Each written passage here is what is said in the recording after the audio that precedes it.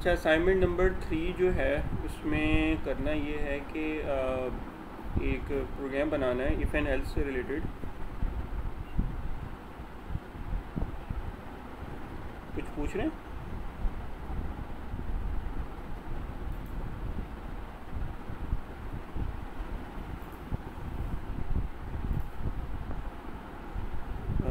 कोई क्वेश्चन हो तो पूछ लीजिएगा।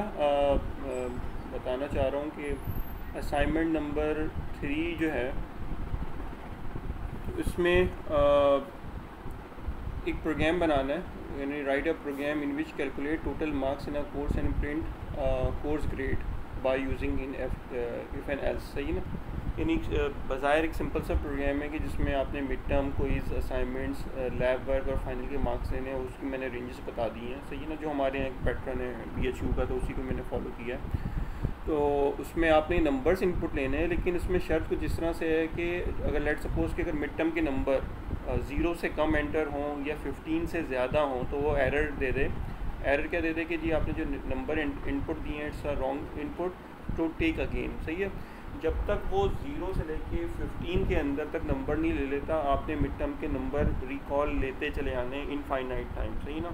अगर वो ज़ीरो दे दे या वन दे दे टू दे दे अनटिल फिफ्टीन दे दे तो फिर आपने अगले स्टेप पे जाना है, फिर आपने कोई इसके नंबर यूज़र से इनपुट देने हैं। कोई इसकी जो रेंज है, वो ज़ीरो से लेके फाइव के दरमियान है, सही ना? ज़ीरो से फाइव के दरमियान नंबर इनपुट लेना है, अगर इससे कम या इससे ज़्यादा नंबर इनपुट देता है तो आपने दोबारा से नंबर इनपुट लेने हैं। इसी तरह इन पाँचों वैल्यूज़ की जो मैंने मिड टर्म को इस assignment lab work and final के नंबर हैं, वो दिए हुए तो उस रेंज के अंदर इनपुट लेने हैं। वंस इधर नंबर इज़ बिन टेकन आपने इसको टोटल करना है। टोटल करके फिर ये मैंने कुछ ग्रेड्स लिखे हुए although this is not like hundred percent at B H U but general for your practice कि अगर ओवरऑल नंबर जो है वो नाइन्टी और से ऊपर आते हैं तो वो ग्रेड ए शो कर दे। यानी मीन्स के टोटल नंबर भी प्रिंट करवाइएगा। टोटल नंबर के कितने टोटल नंबर हैं, ताकि हमें आइडिया हो कि नंबर के अगेंस्ट जो ग्रेड है, वो सही जनरेट हो रहा है नहीं हो रहा। और इसमें थोड़ा सा ये ध्यान रखें कि इसमें जो नंबरिंग ऑल दो के इट्स ओके इंटीजर में ले लें और अदरवाइज़ फ्लोट में ले लें ताकि अगर उसमें डेसिमल वैल्यूज़ आ रही हैं। सही ना यानी मीन्स कि अगर 79.99 है तो उसका सी ग्रेड बनना चाहिए। अगर 80 होते हैं तो उसका बी ग्रेड बनना चाहिए। सही है? तो ये रेंजेस दी हुई हैं। रेंजेस को आपने अप्लाई करना है कि जितना टोटल नंबर आ रहा है उसके अगेंस्ट अप्लाई करना है। ये मैंने नीचे हिंट दिया हुआ है बेसिकली ना।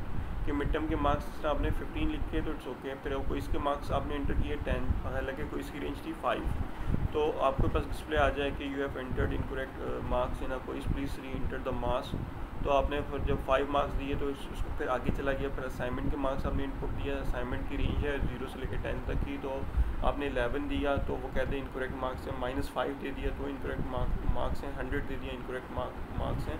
अंटर और लिस्ट मार्क्स जो है ज़ीरो से लेकर टेन के बीच में ना हो, अगले स्टेप पे नहीं जाएगा। प्रोग्राम को मैंने आपके बनाने का इतना आसान कर दिया है कि पूरा पूरा का पूरा मैंने हिंट दे दिया है। सही ना कि आपने करना क्या है कि पहले आपने सब फॉर एग्ज़ाम्पल मिड टर्म के मार्क्स इनपुट लिए सही ना?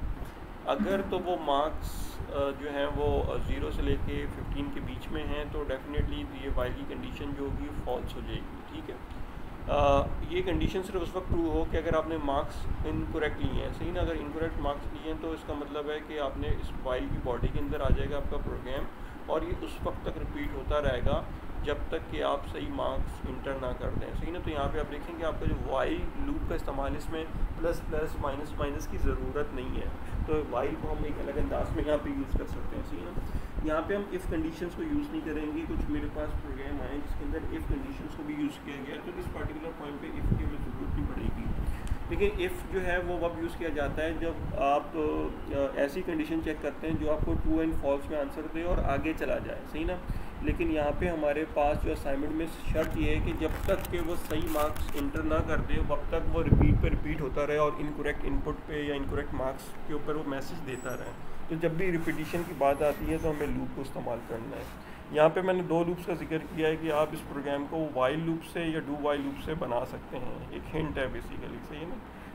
लाइक यहाँ पे फॉर का लूप इतना सूटेबल नहीं है। तो इस तरह से आपको एक आइडिया हो जाएगा कि यहाँ पे फॉर लूप इस्तेमाल नहीं हो हो सकता। यानी कर सकते हैं, लेकिन ईजी नहीं है। यहाँ पे जो the most easiest loop is the while और फिर second is the do while loop तो ये एक असाइनमेंट है, सही है ना? डेडलाइन की ईद की बात तक की है तो यू हैव अ टाइम सही है ना? आपके पास टाइम है यू कैन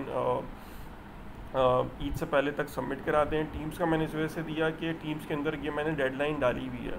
यानी 29 मई तक ये असाइनमेंट अपलोड होगा, उसके बाद ये अपलोड नहीं होगा। सही है ना? तो मेक श्योर कि 29 मई तक इसको अपलोड कर दें। जल्दी ना करें सबमिट कराने की, ताकि आराम से इसको अच्छी तरह से टेस्ट करके सबमिट कराएँ। ठीक है ना? फिर वही कि एक दफ़ा अगर सबमिट हो गया उसमें कोई एरर आए तो फिर नंबर्स जो होंगे डिटेक्ट होंगे माइनस होंगे सही है ना? तो जल्दबाजी ना करें। तो कुछ लोग स्टूडेंट्स हैं इसको सबमिट कराने की कोशिश कर रहे थे तो उनको मैं अभी फ़िलहाल मना कर रहा हूँ सही। अच्छा। आ, बाकी फिर ये कि जो कल का क्विज़ है उसके उससे रिलेटेड भी मुझे बहुत ज़्यादा मैसेजेस आ रहे हैं ख़ासकर उन स्टूडेंट्स के जिनका कोइज़ अच्छा नहीं हुआ सही ना? तो भाई ये तो it's a part of the life के जैसा फाइनल एग्ज़ाम है। एग्ज़ाम एक दफ़ा होता है। अगर आपने एग्ज़ाम अच्छा दिया तो definitely you will be pass you will good grade if you do not pass than definitely you will fail so तैयारी नहीं थी, ये नहीं था, वो नहीं था। तो मैंने कोई इसका पहले से ही ही बताया हुआ था। एक हफ़्ते से ज़्यादा से पहले का बताया हुआ था तकरीबन। और उसकी प्रैक्टिस भी मैंने बता दी थी। गूगल पे जाएँ सर्च करें आप आराम से, आपको प्रैक्टिस क्वेश्चन बेतहाशा आपको इस पर गूगल पे मिल जाएँगे। इस तरह यहाँ पे अगर आप गूगल पे जाते हैं तो यहाँ पे आप लिखते हैं C plus plus loop quiz already मैंने इस से लिख करके सर्च कराया हुआ है। एक आध सवाल मैंने नेट से भी उठाया हुआ है। सही है ना कि नेट से भी मैंने पिक करके उसको आपके उसमें ऐड कर दिया है। तो कोई भी इसमें मैंने रैंडमली सिस्टम क्लिक कर दिया तो ये ये लूप का कोई आ गया, सही ना? ये देखें, इसमें कुछ मुख्तलिफ़ क्वेश्चन आ रहे हैं, सही ना? So which for loop is correct सही ना? ये वाला का सवाल जो था, वो मैंने आपसे पूछा था। इस तरह के सवाल आपके पास बेताशा आ रहे हैं, सही ना? इंटरनेट पे मिल जाएँगे, इसके आंसर्स भी कहीं ना कहीं होंगे इसके अंदर। जी? अच्छा एक मिनट रुके, मैं शेयर करा देता हूँ दोबारा।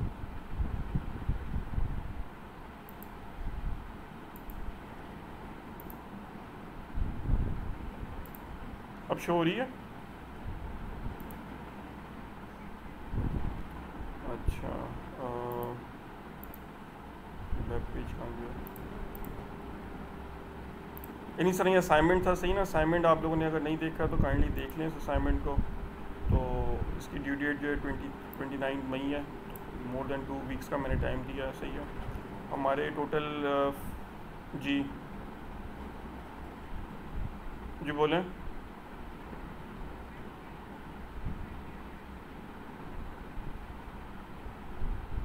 हाँ यानी मीन्स के जिस तरह, यानी मीन्स के जो असाइनमेंट है ना, ये आपने इसका सोर्स कोड की हेडिंग डालनी है, पूरा कोड लिखना है, सही है?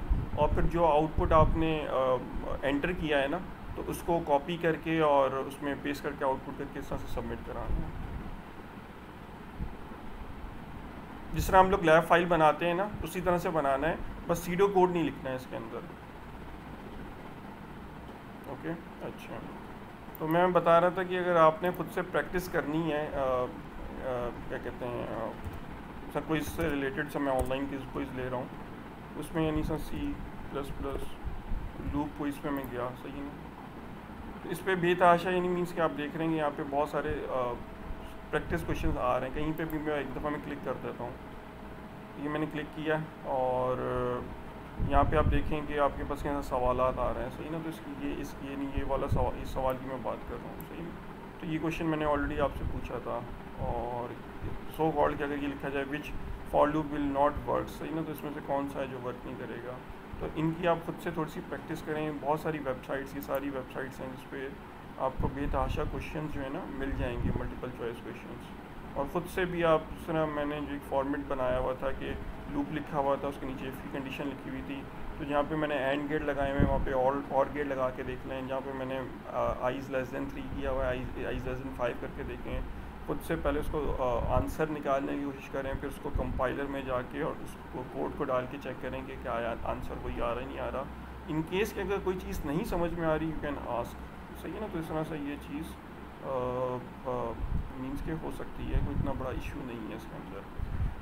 कोशिश मैं ये करूँगा कि क्विज़ जो है ना एटलीस्ट के सिक्स क्विज़ इस तरह के मैं ले लूँ। तो उसमें से best of five best of five जो होंगे वो मैं काउंट कर लूँगा यानी इन केस अगर आपका कोई किस मिस हो जाए या फिर कोई किसी में अगर नंबर कम आए हैं सही है ना? तो वो उससे रिप्लेस हो जाएगा। यानी मीन्स के जो जिसमें जो बेस्ट फाइव होंगे तो मैं उनको काउंट कर लूँगा। सिर्फ़ आ, कल के कोई इसके लिए एक परमिशन ये है कि तकरीबन मेरे ख्याल में एट स्टूडेंट्स हैं, सही ना, जो कि अपियर नहीं हुए थे कोई इसके अंदर। तो उनके लिए एक एक्स्ट्रा कोई इसमें अरेंज कर दूँगा, लेकिन मेक श्योर sure कि उनके ट्वेंटी परसेंट नंबर जो होंगे, वो कम होंगे बिकॉज़ एक तो वो लेट हैं, और फिर जिन्होंने टाइम पे दिया है तो उनको प्रेफरेंस मिलेगी ऑन टाइम वालों को। तो समझ लें कि उनके एट क्वेश्चन होंगे, उन्होंने एट में से आंसर देना होगा। तो फिर मुझे वो टाइम स्लॉट बता दें जो जिन्होंने कोई मिस किया है। लेकिन जिन्होंने अटैम्प्ट किया है तो वो वो एलिजिबल नहीं है। वो फिर वो अब कोशिश करेंगे आगे जो आइंदा फाइव जो मैं क्विज़ लूँगा तो उसमें वो बेस्ट परफॉर्म अपना करें। ठीक है? आ, कोई कोई कोई नहीं कोई क्वेश्चन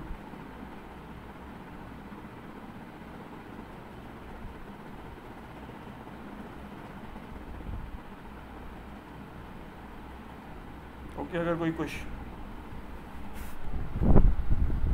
जी।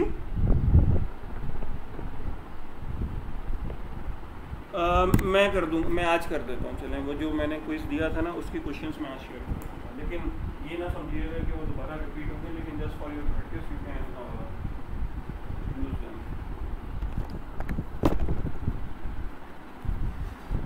अच्छा चलें फिर आज का फिर टॉपिक स्टार्ट करते हैं। It's the two D array the last week we have done the one D array one one D means के डायमेंशन यानी मीन्स के the array has been created in a single dimension so now we are going to create the array in two D सही ना? अच्छा ये जितनी भी जो टर्मिनोलॉजीज़ हैं one D two D and three D three dimensions four dimensions so they they they exist physically but they are not exist in the computer system. Like in the computer, they just works in a linear way like one dimension में ही save हो रही होती हैं लेकिन इसको uh, एक virtually जो हमारे पास जो आउटपुट आता है it's showing the two D form सही ना? सो so, इसमें जो मोस्ट कॉमन एग्जांपल हमारी होगी टू डी एरे की वो है मैट्रिक्स uh, की के जो मैट्रिसेस अगर आपने किए हैं कि एडिशन सब्ट्रैक्शन और मल्टीप्लिकेशन वगैरह करते हैं तो उसमें हमें टू डी एरे की ज़रूरत पड़ती है सही ना? तो लेट्स सी के how it's so if you want you to create uh, the 2d array so uh, how you you are going to create you can just uh, like the write the data type कि आपने किस data type में बनाना है integer float character type then give the name of the array जो भी array का आप नाम देना चाहें। अब यहाँ पे बेसिकली साइज़ तो आएगा। Like the size you have to tell के आपने उसको किस किस साइज़ का आपने टू डी एरे क्रिएट करना है। तो उसमें जो साइजेस हैं तो फ़र्स्ट साइज़ इज़ सेइंग के you are going to declare the column size सही ना कि कॉलम का कितना साइज़ होना चाहिए? वो सॉरी रो, रो, रो का कितना साइज़ होना चाहिए? And then the column size सही ना? तो ये दो sizes will be required for example यहाँ पे लिखा हुआ है आई एन टी यानी इंटीजर एक्स आपका एरे का नाम है टेन uh, ट्वेंटी इसका मतलब है कि ये इस जो एरे है इसके अंदर जब आप यूज़र से इनपुट लेंगे तो उसमें जो इनपुट आएगा रो रो रोज़ के अंदर तो लाइक हॉरिजॉन्टल लाइंस के अंदर तो वो तकरीबन टेन वैल्यूज़ इनपुट आएँगी और वर्टिकली तौर पे ट्वेंटी वैल्यूज़ इनपुट आएँगी। तो टोटल इस पार्टिकुलर एरे के अंदर जो आप डेटा एंट्री कर रहे हो, वो अबाउट टू हंड्रेड वैल्यूज़ जो हैं वो यूज़र से इनपुट ले रहे हो, सही ना? टू हंड्रेड की हमेशा आपस में मल्टीप्लाई होंगी दोनों वैल्यूज़ टेन को मल्टीप्लाई कर दोगे ट्वेंटी से तो टू हंड्रेड बन जाएगा। Two hundred values you are going to take input in the two D array सही है? अच्छा इसके अंदर वही कि जिस तरह पहले मैंने वन डी के अंदर भी आपको बताया था कि how you are going to extract the value how you can put the value सही ना? तो if you want you can put the value in a particular location like for example if this is a declaration ten and twenty और उसके अंदर आप क्या करते हो कि एक वैल्यू है लाइक द फिफ्टीन को आपने इंसर्ट करना है तो आपने क्या करना है कि आपने उस पर्टिकुलर लोकेशन बतानी है।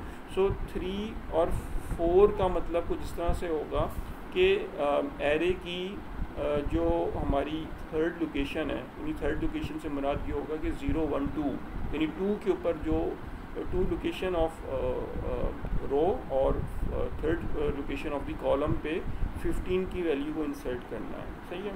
फिर इसी तरह फिर इस पर्टिकुलर लोकेशन से किसी वैल्यू को एक्सट्रैक्ट करना हो तो आपने थ्री बाई फोर से लिख के और वाई के जो वेरिएबल है उसके अंदर आप फिफ्टीन की वैल्यू को एक्सट्रैक्ट कर सकते हो। सही ना? इसको अभी मैं पेंट में भी थोड़ा सा करके दिखा देता हूँ फिर उसके बाद फिर उसको कोडिंग के अंदर हम इसकी प्रैक्टिस कर लेंगे। अच्छा फिर जो मैंने बात की थी कि जो ये जो आ, ये टू है सही है ना? It is representing like like पहले मैं पेंट पे इसको ले चलता हूँ ताकि उसमें आपको एक आइडिया हो जाए कि मैं जो बात करना चाह रहा हूँ कि इसका जो वैल्यूज़ है ना वो कुछ इस तरह से रिप्रेजेंट होंगी कि लेट्स सपोज़ कि टू फोर वन फोर इसी तरह यानी आपका यानी मैट्रिक्स की जो वैल्यूज़ हैं, वो जनरेट हो रही होती हैं। तो ये जो वैल्यू आ रही है बेसिकली टू बाई टू का मैट्रिक्स है। ठीक है? तो अगर इस तरह का अगर मैट्रिक्स आपने कोई बनाना है ना तो उसका जो वेरिएबल होगा, वो कुछ इस तरह से होगा कि I N T array square bracket of two and then square bracket of two तो ये बेसिकली इसकी डिक्लेरेशन है, सही ना कि ये जो आपने, अगर आपने इस तरह की वैल्यूज़ यूज़र से इनपुट लेनी है, सही है?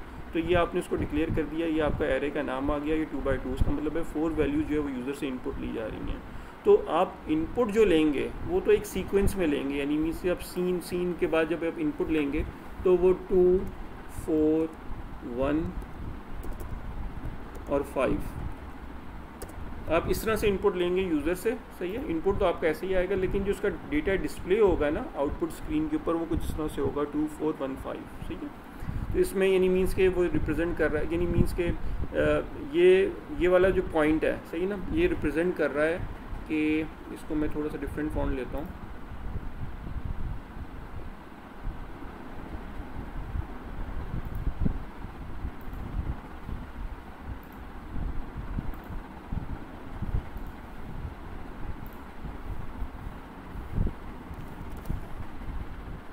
कि जहाँ पे पहला टू मेरा आया है, ये बेसिकली ज़ीरो ज़ीरो की लोकेशन है, ठीक है?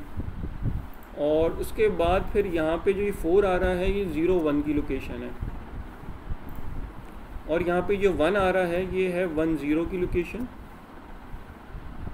और फिर ये वाली जो फाइव जहाँ पर है, ये है वन वन की लोकेशन ये मैं आपको बता रहा हूँ लोकेशन सही ना? ये मेरी वैल्यूज़ हैं। यानी मीन्स के अब ये जो एरे है वन डी एरे में क्या होता था कि zero one two three four करके लोकेशन आती थी। जबकि अगर सर टू डी एरे तो इसमें हमारे पास दो पॉइंट्स हैं यानी row and column. Zero row zero column पे टू है सही है? फिर ज़ीरो रो के ऊपर और फ़र्स्ट कॉलम के ऊपर मेरे पास फोर है सही ना? एंड सो ऑन कि इस तरह से वैल्यूज़ जो है वो रीड ऑन होंगी टू बाई टू की सही है? फिर इसी तरह अगर मेरे पास कोई आ, एक एरे है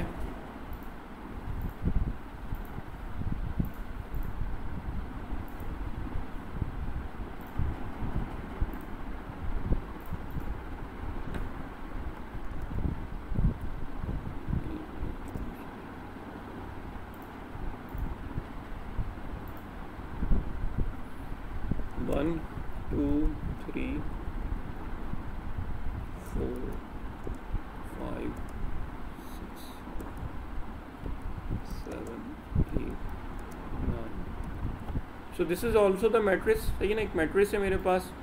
ये रिप्रेजेंट कर रहा है कि int A is equals to three by three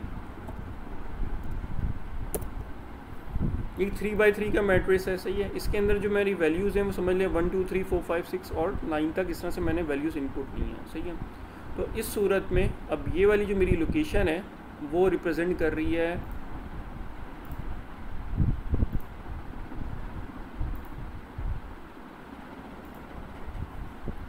zero zero zero ये वन जो है, ये मेरी ज़ीरो ज़ीरो ज़ीरो लोकेशन पर है, सही ना? फिर उसके बाद टू जो है, वो ज़ीरो ज़ीरो वन लोकेशन है।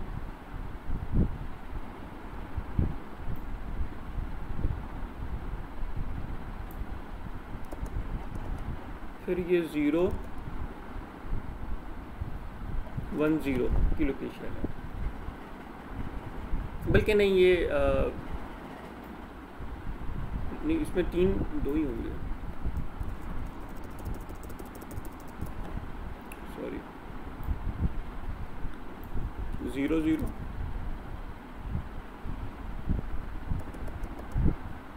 zero one और ज़ीरो टू इस तरह से। ये बाइनरी नंबर नहीं है ये सिर्फ़ लोकेशंस की मैं आइडेंटिफाई कर रहा हूँ।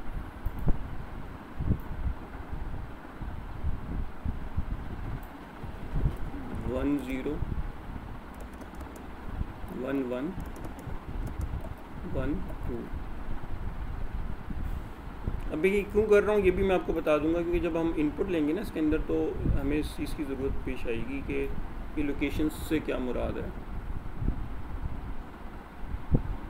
Two zero, two one, two two. इस, ये बेसिकली इनकी लोकेशंस आ रही हैं, सही है ना? अब लोकेशंस से क्या मुराद है?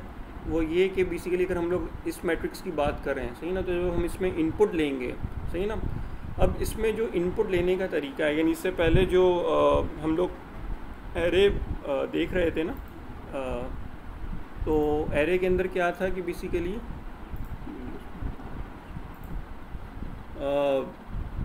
हम लोग जो इनपुट लेते थे यूज़र से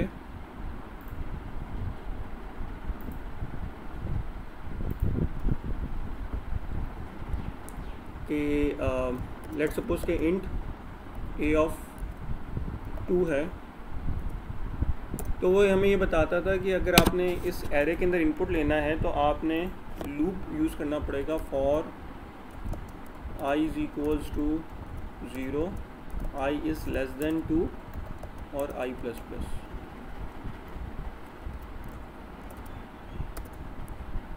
और फिर क्योंकि जगह नहीं है तो यहाँ पे मैं सी इन ए ऑफ़ आई करके लिखता हूँ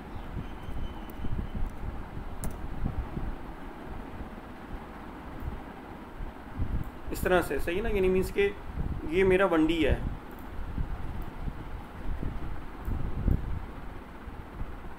एरे के अंदर इनपुट लेने का तरीका जो था सही ना? कि हमने लैब भी कल परफॉर्म की थी इस तरह की।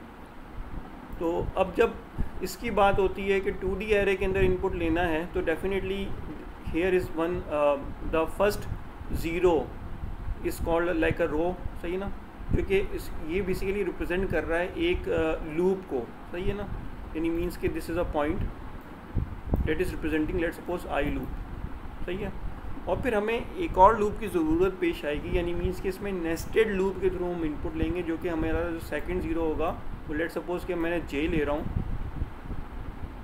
तो जे को रिप्रेजेंट करेगा, यानी मीन्स के आई की ज़ीरो लोकेशन और जे की ज़ीरो लोकेशन जो है, वो मेरा पहला इनपुट है। सही है? तो अब टू डी एरे को जो डिक्लेयर करेंगे, वो कुछ इस तरह से करेंगे कि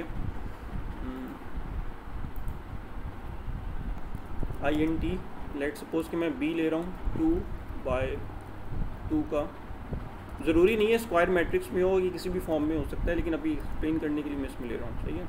अच्छा अब जब इसमें मुझे इनपुट लेना है तो मैं इसको कुछ इस तरह से लिखूँगा for I is equals to zero I is less than two I plus plus और उसके नीचे मुझे एक और लूप लेना पड़ेगा तो that makes a nested for loop for और उसके बाद मुझे वेरिएबल डिफरेंट लेना है जे लेना है, सही ना? जे ले लिया J is equals to zero J is less than equals to two J plus plus इस तरह से। और जब मैं, अब इनपुट जो मैं लिखूँगा कि सी इन की जो कमांड लूँगा, सही ना? सी इन की कमांड जो मैं लूँगा, वो लूँगा सी इन आपके एरे का नाम, जो कि बी है, सही ना? पहला जो स्क्वायर ब्रैकेट है, उसके अंदर वैल्यू आएगी आई की और फिर सेकंड जो मेरा स्क्वायर ब्रैकेट है, उसमें आएगी वैल्यू जे की, इस तरह से, सही है ना? So this is the method to take input in the two D array किसी भी टू डी एरे के अंदर इनपुट लेने का ये तरीका होगा, सही ना? अगर यहाँ पे साइज़ थ्री होता थ्री और थ्री होता तो यहाँ पे लूप के अंदर यहाँ पे थ्री और थ्री आ जाता। लेट सपोज़ कि अगर यहाँ पे थ्री है और यहाँ पे टू है so the first row is representing the outer loop सही ना? तो अगर यहाँ पे इसका साइज़ थ्री है तो यहाँ पे आप थ्री ले लेंगे। इसका साइज़ फोर है यहाँ पे फोर ले लेंगे। यहाँ पे अगर टू है तो यहाँ पे टू आएगा। यहाँ पे अगर टेन है तो यहाँ पे टेन आएगा। ठीक है? इस तरह से इसकी फॉर्मेटिंग uh, है to take the input values इसी तरह से इनपुट ले रहे हैं इसी तरह से हम लोग आउटपुट को भी डिस्प्ले करेंगे। सही है? अच्छा तो इसको मैं ज़रा रीड करके बता देता हूँ कि जो वैल्यूज़ हैं वो कैसे इनपुट uh, ली जा रही हैं। सही ना? आपने इनिशियली तौर पे टू डी एरे को डिक्लेयर कर दिया, सही है? और उसके बाद फिर आई की value zero I is less than two condition is true condition true होने की सूरत में ये प्रोग्राम नीचे आएगा जे की लूप में। अब जे की लोकेशन जे की वैल्यू ज़ीरो सेट कर देगा ज़ीरो को कंपेयर करेगा zero is less than two less than two condition true है तो यहाँ पे आएगा। तो जब यहाँ पे आएगा तो आप देखें कि आपके पास, जो आई की वैल्यू है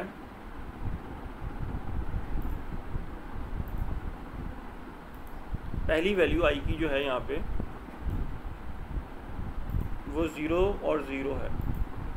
टेन छोटा हो जाएगा यानी फ़र्स्ट टाइम आई की वैल्यू ज़ीरो और जे की वैल्यू ज़ीरो तो आई की वैल्यू ज़ीरो जे की वैल्यू ज़ीरो में आपने पहला इनपुट लेना है फ़र्स्ट इनपुट तो first input is of your two जो आपने टू इनपुट लिया, वो इस लोकेशन को रिप्रेजेंट कर रहा है। ठीक है? Once you have taking the input तो ये प्रोग्राम दोबारा ऊपर जाएगा, यहाँ पे जे की वैल्यू में इंक्रीमेंट होगा। जे की वैल्यू हो जाएगी वन सही ना? जे की वैल्यू जब वन हो गई तो यहाँ पे चेक करेगा कि one is less than two condition is true condition के ट्रू होने पे प्रोग्राम नीचे आ जाएगा।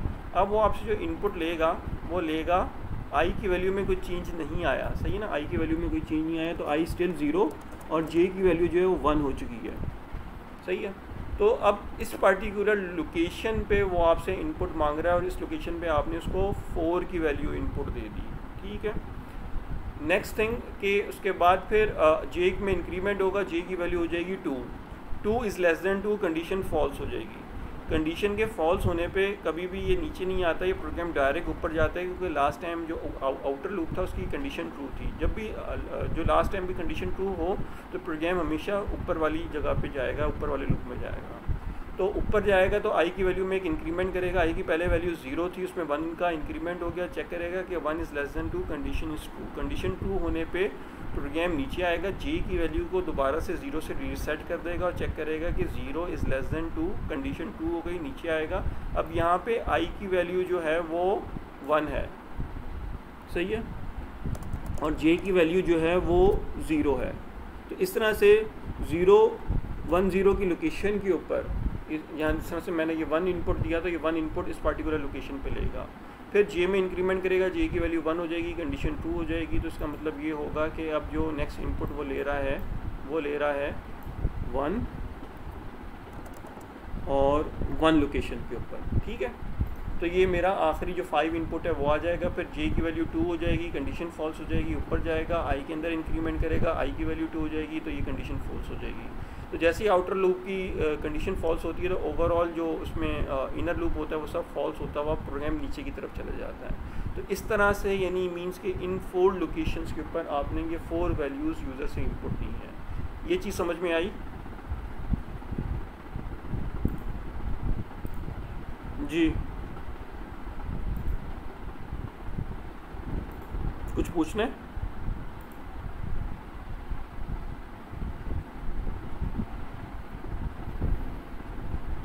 अटेंडेंस जो है वो फॉर्म पे मार्क होगी तो यहाँ पे प्रेजेंट लिखने की भी ज़रूरत नहीं है तो अटेंडेंस जो है फॉर्म पे मार्क कर लेंगे।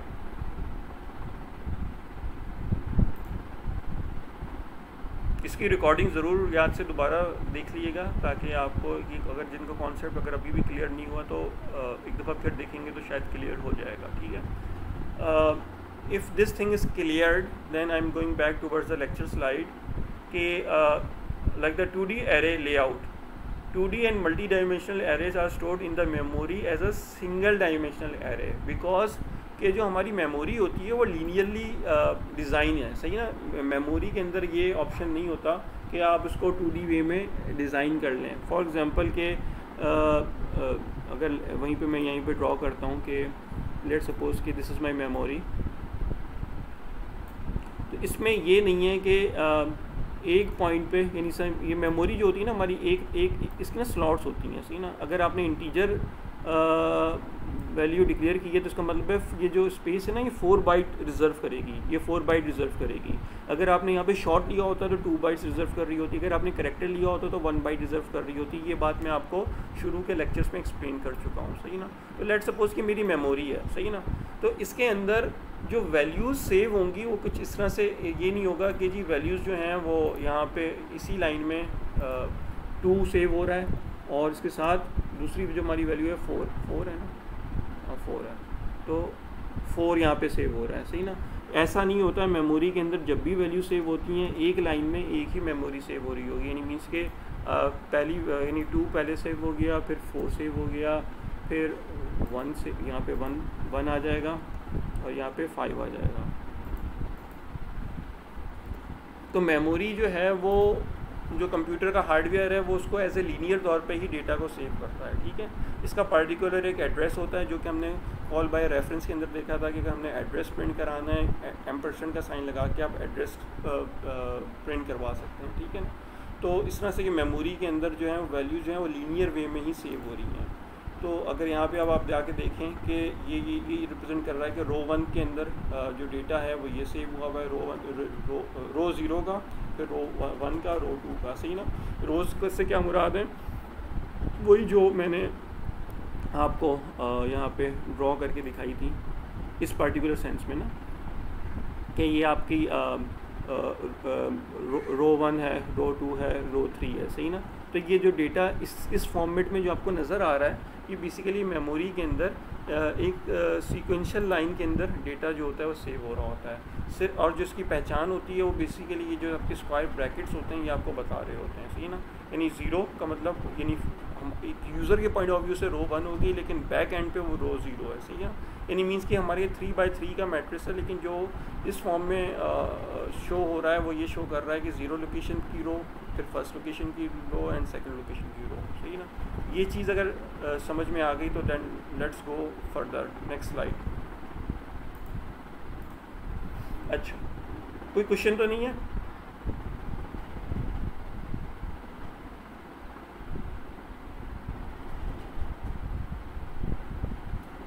आवाज़ किसी की नहीं आ रही अगर आवाज़ किसी की नहीं आ रही तो उसका मतलब मैं ये समझूँगा कि सब कुछ समझ में आ रहा है।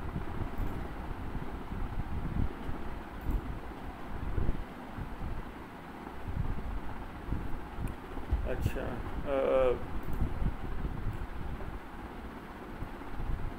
टू डी एरे के अंदर भी हम डिफ़ॉल्ट वैल्यूज़ को इनपुट ले सकते हैं। सही ना? डिफ़ॉल्ट वैल्यूज़ को इनपुट ले सकते हैं। इस पोर्शन को भी मैं बाद में एक्सप्लेन करूँगा कि इसमें जो तरह मैं मंथ्स के नाम इनपुट ले रहा हूँ।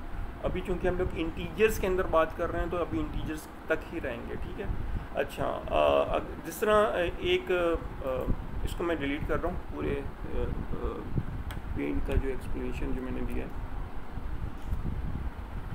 अच्छा डिफ़ॉल्ट वैल्यूज़ जैसा एक वन डी एरे के अंदर मैंने आपको बताया था कि वन डी के अंदर जब हम डिफ़ॉल्ट वैल्यूज़ इनपुट लेते हैं I N T A of size five ले लेता हूँ इज़ इक्वल्स टू एक हमारे पास नॉर्मल जो पैरेंथेसिस जिस तरह प्रोग्राम स्टार्ट करते हैं, वो लिया जाता है। और यहाँ पे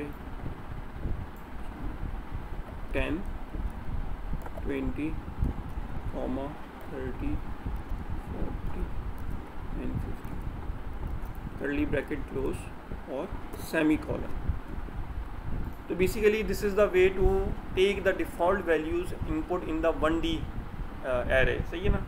अगर आपने टू डी एरे के अंदर डिफ़ॉल्ट वैल्यूज़ इनपुट लेनी है ना तो उसके अंदर तरीका कुछ ही होगा। कि बेसिकली ये फ़र्स्ट वाला जो है आपको रो को रिप्रेजेंट कर रहा है कि कितनी रोज़ हैं सही ना? और उसमें कितने कॉलम्स हैं।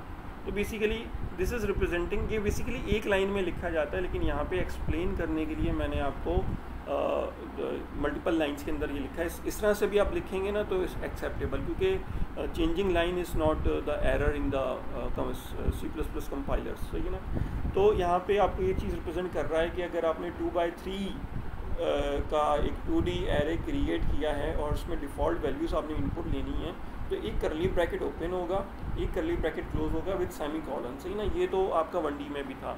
लेकिन टू डी के अंदर अब खसूसियत ये आ गई कि जब आपने बताया कि आपके पास टू बाई थ्री है, इसका मतलब है इसके अंदर दो सेट्स बनेंगे। Two is representing two sets यानी set one this one and set two is this one सही ना? और हर सेट में जो क्वांटिटी है वो आपने बता दी जैसे कॉलम के अंदर आपने क्वांटिटी बतानी है जिस थ्री तो हर सेट में तीन तीन के वैल्यूज़ जो हैं वो आप इसमें डिफ़ॉल्ट वैल्यूज़ इनपुट दे सकते हैं सही ना? इसको भी मैं लिख के दिखा देता हूँ यहाँ पे यहाँ पे अगर लिखना लिखेंगे वो कुछ तरह से लिखा जाएगा कि I N T B of two by three तो इसमें एक आ, आ, ये करली ब्रैकेट ओपन होगा, सही है? फिर उसके बाद फिर एक और करली ब्रैकेट ओपन होगा, जो कि पहले सेट को रिप्रेजेंट कर रहा है, सही ना? पहला सेट में क्या आएगा कि वन टू थ्री और उसके बाद ये सेट जो होगा क्लोज हो जाएगा। इसके बाद फिर यहाँ पे कॉमा आएगा। यानी मीन्स के जब पहला सेट क्लोज हो जाएगा, उसके बाद एक कॉमा आएगा। और उसके बाद फिर आप दूसरा सेट इसमें लिखेंगे four comma five comma six curly bracket close यानी मीन्स के हमारे दो सेट्स कंप्लीट हो गए। इसके बाद फिर हमारा, यानी मीन्स के जो डिफ़ॉल्ट वैल्यूज़ इनपुट लेनी थी, वो कंप्लीट हो गई। So this is the way to take input in the two D array सही है ना? इसको मैं दोबारा से एक और एग्जांपल लिख देता हूँ विद डिफरेंट साइज़ ताकि आपको इस चीज़ का आइडिया रहे कि आपने जो उसमें डिफ़ॉल्ट वैल्यूज़ डिक्लेयर करनी है, वो कैसे डिक्लेयर करनी है। Let suppose I am going to take three और यहाँ पे ले लेता हूँ। फोर ले लेता हूँ। सो दिस इज़ शोइंग के अब मेरे पास टोटल थ्री सेट्स हैं और हर सेट के अंदर जो डिफ़ॉल्ट वैल्यूज़ हैं वो फोर हैं। सही है ना? तो इस तरह से यानी मीन्स की करली ब्रैकेट ओपन और फोर वैल्यूज़ इनपुट लेनी है तो one comma two comma three comma four ये सेट क्लोज हो गया। कॉमा आएगा, फिर करली ब्रैकेट ओपन फिर five comma six comma seven comma eight फिर करली ब्रैकेट क्लोज फिर कॉमा आएगा, फिर नाइन टेन एलेवन ट्वेल्व और करली ब्रैकेट क्लोज फिर ये करली ब्रैकेट क्लोज और ये सेमी तो इस तरह से यानी मीन्स के आपने डिफ़ॉल्ट वैल्यूज़ जो हैं वो यूज़र से इनपुट लेनी है। इसमें कोई query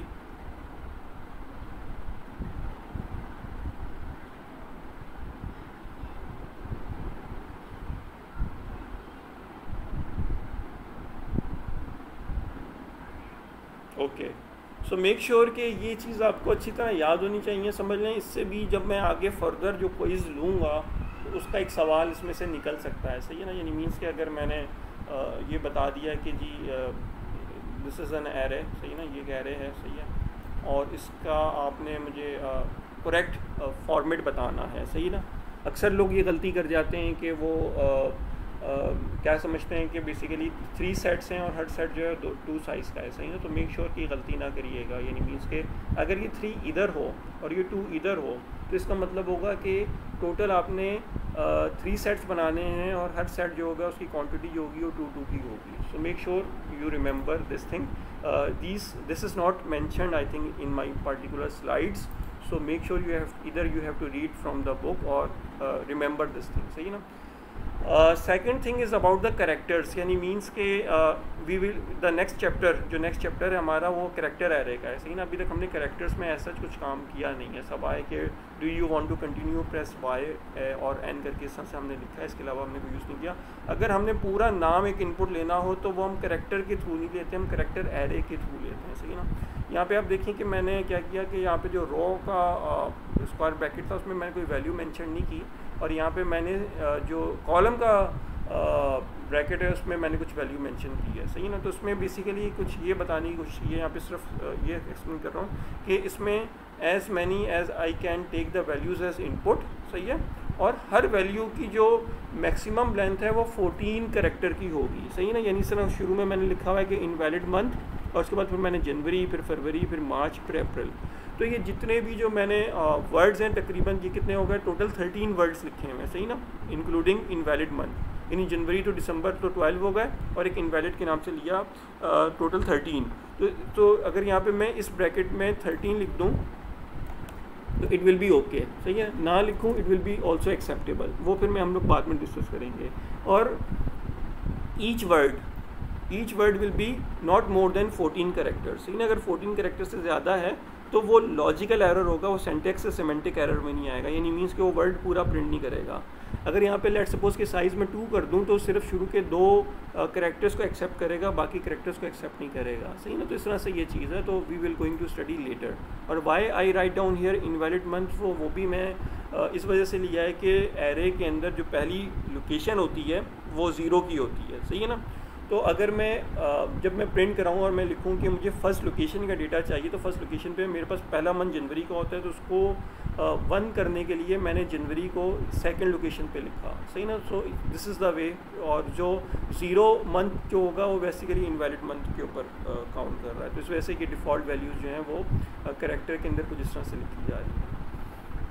Come towards a complete comprehensive program it's the most common example is the matrix की इसमें एग्ज़ाम्पल दी जाती है। सही ना? यहाँ पे मैं क्या कर रहा हूँ कि टू बाई टू का मैट्रिक्स है, सही है? उसका मैं एडिशन जो है वो करके दिखा रहा हूँ, सही ना? इसका सब्ट्रैक्शन भी आसान होता है, लेकिन मल्टीप्लिकेशन का प्रोसीजर डिफरेंट होता है मैट्रिक्स में, सही ना? शायद आपने पढ़ा होगा। अब मुझे नहीं पता कि इसमें बेसिक मैथमेटिक्स में आपने कवर किया है या नहीं। तो अगर वो ऐसे भी आपने इंटरमीडिएट या मैट्रिक मैथ भी सीखी होंगे। तो इसमें क्या है कि मैंने दो मैट्रिसेस हैं मेरे पास, उनको मुझे ऐड करना है। तो ऐड करने से पहले डेफिनेटली मुझे इन दोनों मैट्रिसेस में वैल्यूज़ इनपुट लेनी है, सही ना? ये कोड मैंने ऑलरेडी क्लास शुरू होने से पहले का बनाया हुआ है, सही ना? तो डायरेक्ट मैं डेव के कंपाइलर में चला जाता हूँ। पहले मैं इसको रन करके दिखा देता हूँ कि इस पार्टिकुलर जो कोड है तो उसका जो आउटपुट है वो किस तरह से आ रहा है? सबसे पहले वो मुझसे ये पूछ रहा है कि please enter matrix one value already I made two by two तो उसका मतलब है मैक्सिमम मेरे पास फोर वैल्यूज़ इनपुट आएँगी, सही ना? तो one two three and four ये मैंने अपने पहले मैट्रिक्स की वैल्यू जो है वो यूज़र से यूज़र से इनपुट ले ली, ठीक है? उसके बाद मुझसे बोल रहा है कि सेकंड मैट्रिक्स की वैल्यू इनपुट दो। तो जब मैंने दी four, five six, seven and eight इस तरह से मैंने वैल्यूज़ इनपुट दी तो उसने मुझे बता दिया कि sum of the two matrices are के जो आपने पहला इनपुट लिया था वन वो ऐड हुआ आपके सेकंड मैट्रिक्स की पहली वैल्यू से and it gives me the answer six फिर सेकंड वैल्यू जो मेरी टू थी, वो ऐड हुई सिक्स से it gives me eight and so on जो मेरी आखिरी वैल्यू थी four and eight it will be add and it give me the twelve so I convert this input values into the matrix form सही है ना? अब ये कैसे परफॉर्म हुआ? Uh, इसको मैंने ऑलरेडी आपको थोड़ा सा एक्सप्लेन तो कर दिया है। सही है ना? कि एक मैट्रिक्स लिया। इसको मैं एक ही लाइन में भी डिक्लेयर कर सकता था। इसको मैंने थोड़ा सा लेंदी जा रहा था तो इसको टू कॉलम्स मैंने इसको डिक्लेरेशन कर दी। सही है? अब चूँकि मैं टू डी में काम कर रहा हूँ तो मुझे दो लूप्स की ज़रूरत पड़ेगी, यानी नेस्टेड फॉर लूप की ज़रूरत पड़ेगी तो इस वजह से मुझे आई और जे को डिक्लेयर करना है, सही ना? एक लूप से मैं इनपुट नहीं ले सकता, सही ना? और अगर नेस्टेड लूप में मैंने एक वेरिएबल लिया तो भी वो एरर प्रोड्यूस कर देगा, सही है ना? यानी मीन्स का लॉजिकल एरर आएगा। तो मुझे दो वेरिएबल्स नॉर्मली चाहिए चाहिए, जो कि मेरे वैल्यूज़ को इनपुट ले सकें। ये चीज़ मैंने ऑलरेडी आपको पेंट पे थोड़ी सी एग्जांपल के तौर पे करके दिखा दी थी कि अगर ये टू बाई टू का मैट्रिक्स है तो आपने ज़ीरो से लेके लेस देन टू, ज़ीरो से लेके लेस देन टू के दो लूप्स नेक्स्ट लूप चलाने आपने ज़ीरो ज़ीरो लोकेशन पे पहली वैल्यू इनपुट ली, ज़ीरो वन, फिर वन, ज़ीरो, फिर वन वन लोकेशन पे इनपुट ले लिया। इसी तरह फिर मैट्रिक्स टू के अंदर आपने यूज़र से इनपुट ले लिया। अब आप जब इन दोनों का सम कैलकुलेट करने जाएँगे तो अगेन आपको यहाँ पे नेस्टेड लूप की ही ज़रूरत पड़ेगी। सही है ना? यानी मीन्स के throughout the two D array अगर आपने कोई भी काम इसमें परफॉर्म करना है तो आपको टू डी एरे की ज़रूरत पड़ेगी। सही है? तो अब इसमें क्या हो रहा है कि सिंपल आपने वही ज़ीरो से लेके लेस देन टू ज़ीरो से लेके लेस देन टू के दो लूप लिए। सही है? फ़र्स्ट मैट्रिक्स जो था, उसकी ज़ीरो ज़ीरो लोकेशन को आपने ऐड करवा दिया सेकंड मैट्रिक्स की ज़ीरो ज़ीरो लोकेशन से। सही है? यानी मीन्स क्या होगा कि फ़र्स्ट टाइम जब आई की वैल्यू ज़ीरो होगी जे की वैल्यू ज़ीरो होगी तो उसका मतलब है पहली वैल्यू फिर उसी टाइम पे ही मैट्रिक्स टू की ज़ीरो लोकेशन पे और जे की ज़ीरो लोकेशन पे जो पहली वैल्यू होगी, वो आपस में ऐड होके थर्ड मैट्रिक्स की ज़ीरो लोकेशन के ऊपर ज़ीरो ज़ीरो लोकेशन के ऊपर वो सेव हो जाएगी। और हम उसको वहीं पे ही, उस वैल्यू को प्रिंट करवा रहे हैं स्लैश टी ताकि टैब का स्पेसिंग आ जाए सही है। जे लूप यानी ये चूँकि हमें टू बाई टू की फॉर्म में डेटा को प्रिंट करना है तो इस वजह से हमने क्या किया कि जब ये लूप एक दफ़ा कंप्लीट एग्जीक्यूट हो गया, दोबारा ऊपर जाने से पहले लाइन चेंज करा दी यहाँ पे, सही ना? ये चीज़ हमने उसमें भी कर चुके हैं, वैसे भी जब हमने नेस्टेड लूप कर रहे थे तो एक हमने एक वो जो स्क्वायर मैट्रिक्स वगैरह जो जनरेट कर रहे थे, सही ना? तो उसमें ये जो एंडल है, ये बेसिकली ये काम कर रहा है कि जो आपका आउटपुट आया था I think I deleted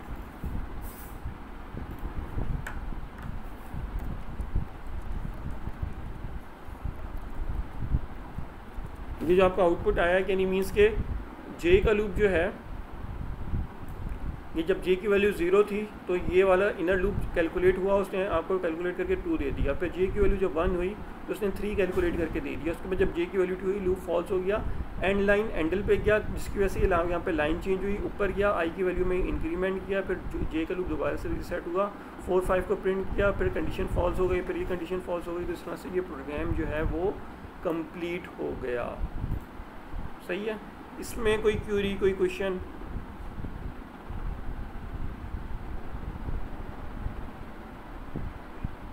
okay सही है। तो आ, अगर इसको आपने सब्ट्रैक्ट करना हो वैल्यूज़ को सही है ना? तो सिंपल यहाँ पे प्लस की जगह माइनस का साइन आ जाएगा। लेकिन एडिशन वो लेकिन मल्टीप्लिकेशन ऐसा नहीं होता सही ना? मल्टीप्लिकेशन का कोड ज़रा सा लेंदी है सही है ना? तो मल्टीप्लिकेशन में आपने ये देखना होगा कि जो आपका दो जो वो मैट्रिसेस हैं, दोनों इक्वल होने चाहिए। उसमें फ़र्स्ट मैट्रिक्स में जो कॉलम है, वो सेकंड मैट्रिक्स के नहीं फ़र्स्ट मैट्रिक्स का जो रो है, वो सेकंड मैट्रिक्स के कॉलम की इक्वलेंट होगा तो मैट्रिक्स मल्टीप्लिकेशन हो सकती है। ठीक है ना? तो उस चीज़ को हम लोग फिर बाद में देखेंगे। इतना ज़्यादा डीप कॉम्प्लेक्स में नहीं जा रहे, फिर इसमें थ्री डी एरे भी एग्जिस्ट करता है। सही ना? Three D array is not the part of your program so three D array का सिर्फ़ मैं यहाँ पे एक इंट्रो दे रहा हूँ, सही ना? ताकि आपको उसका आइडिया होना चाहिए कि थ्री डी एरे के अंदर भी, यानी जब हमारे पास कुछ कॉम्प्लेक्स डेटाज आ जाते हैं तो उसको हम मैट्रिक्स फॉर्म में हम इनपुट लेते हैं, उसमें कैलकुलेशन वगैरह परफॉर्म कर रहे होते हैं, ठीक है? तो इस चीज़ का भी आपके पास आइडिया होना चाहिए कि अगर आपके पास ये उसको हम थ्री डी में भी क्रिएट कर सकते हैं। So this is the format to create a three D array सही ना? थ्री डी एरे अब थ्री थ्री डी एरे के अंदर जब आप इनपुट लेंगे तो आपको थ्री कॉन्जिक्यूटिव फॉर लूप्स लेने पड़ेंगे, यानी इसमें फिर आई जे के तीन लूप आ जाएँगे इसमें इनपुट लेने के लिए जैसे तो इस तरह से, जिस तरह से, जिस जिस तरह ये एरे बढ़ता चला जाएगा four D five D six D तक जा सकता है सही है? तो उस उस तरह आपको लूप इंक्रीज़ करने पड़ेंगे और उससे फिर आपकी definitely the complexity of the program will be increasing so through this particular program we just focus on the one D and the two D array so इसकी आपने खुद से प्रैक्टिस uh, करनी है सही है ना? इसको अगर लेट सपोज़ कि यहाँ पे मैं अगर थ्री uh, लिखता हूँ सही है? एडिशन के लिए ज़रूरी ये होता है कि दोनों मैट्रिसेस के साइज़ सेम होने चाहिए सही है ना? तो अगर ये थ्री बाई टू है तो इसका भी साइज़ जो है वो थ्री बाई टू ही होना चाहिए। सही ना? ये भी थ्री बाई टू होना चाहिए और जिसका आउटपुट आएगा, वो भी थ्री बाई टू की फॉर्म में आएगा। सही है? तो ये यहाँ पे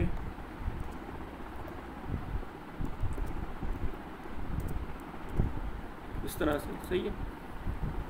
और फिर होगा क्या है कि यहाँ पे थ्री आ जाएगा। और यहाँ पे थ्री आ जाएगा। और यहाँ पे जो आउटपुट जो जनरेट हो रहा है, यहाँ पे थ्री आ जाएगा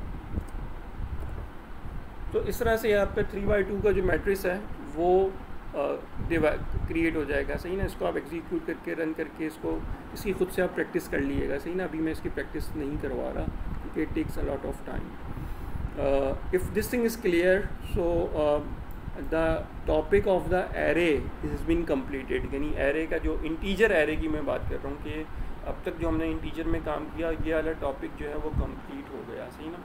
थोड़ा सा हमारे पास टाइम बाकी है, फिर अगर नेक्स्ट वीक हमारी क्लास भी मिस हो जाएगी तो उस वजह से फिर मैं चाह रहा हूँ कि थोड़ा सा कैरेक्टर एरे को भी अभी देख लें, सही है ना? ताकि आपको उसका कॉन्सेप्ट हो, फिर उसके बाद जब ईद के बाद जो हमारी क्लास होगी तो उसके अंदर उसको बहुत थोड़ा सा रिवाइज भी कर देंगे तो अगर इसमें इंटीजर एरे और ये two D array is clear then we are I am going towards the next lecture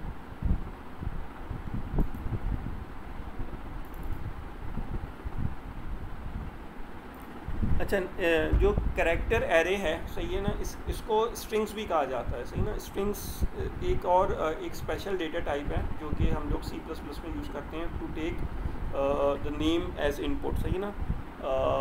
अब तक जो हमने जितनी भी जो प्रोग्रामिंग की, सही ना, उसमें हमने ज़्यादातर उसको इंटीजर्स में देखा, सही ना? इंटीजर्स में देखा या फ्लोटिंग वैल्यूज़ में देखा कैलकुलेशन वे में देखा। अभी तक हमने कोई इस तरह होता है ना, नाम वगैरह इनपुट लेना या कोई वर्ड को सर्च करना वर्ड की सॉर्टिंग करना वर्ड से रिलेटेड जो चीज़ें हैं, वो अभी हमने कोई इतनी ख़ास परफॉर्म नहीं की। तो वो चीज़ जो है, वो basically we are going to do with a character array और करेक्टर एरे में क्या है कि it's a same as the integer array लेकिन इसमें जो इनपुट एंड आउटपुट के तरीके हैं, वो थोड़े से डिफरेंट हैं। सही ना?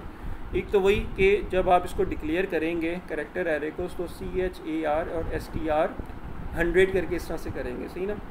इसको एक्सप्लेन करने से पहले मैं एक चीज़ बताना चाहूँगा कि going towards the dev compiler एक एग्जांपल दे रहा हूँ यहाँ पे, कि यहाँ पे मैं एक प्रोग्राम टाइप करता हूँ।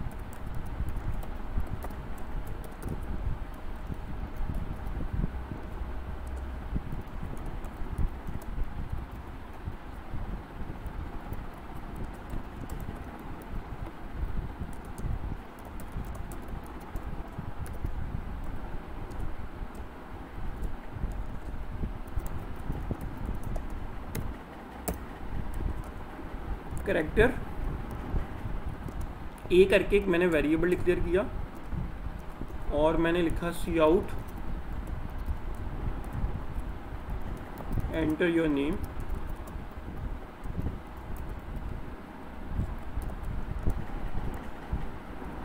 definitely input हम सीन से लेते होते हैं तो सीन लिखूँगा और उस वेरिएबल का नाम लिख दूँगा जो मैंने ऊपर डिक्लेयर किया और लिखूँगा सी आउट